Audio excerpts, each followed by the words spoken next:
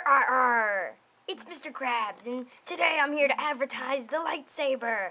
And SpongeBob, you can keep battling if you want. Uh, yeah, while they battle, we're going to talk about how awesome the lightsaber is, and will you keep it, and will you kill yourself quietly? Very good. I think this is a horrible commercial. Shop Squidward, the Krusty Krab commercial worked great. So this will. So, uh, uh, that's kind of disturbing. But there's a lightsaber in it. In it, um, it it cuts stuff like it can cut your soda can open. Have you ever just wanted to get your soda can open, but your but the can popped open and ruled the world or something like that? Well, this thing doesn't do that. It just it's voice command. So if you say oh, so if you say take over the world, it takes over the world. Taking over the world. Whoopsies. We'll be back momentarily.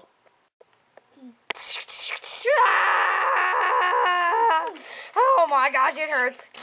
It's hurting. It hurts. It hurts so bad. Jeez, that hurt. So, remember to pick up your lightsaber at Walmart, Kmart, or Target. Oh my gosh, come on, SpongeBob. I'm already a severed head. Jeez Louise. We now return to SpongeBoards. You allow this stuff flood to twist your mind until now you come the very thing you swore to destroy. What? I don't know what that means, but I really just want to get to the battle. Don't you, uh, SpongeBob? Okay. Hey. Hey. Yeah. I don't like this I want to battle with Squidward. Now! That's very good.